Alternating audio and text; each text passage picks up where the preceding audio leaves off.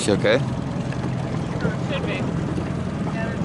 I mean, it sucks to get her out, but it was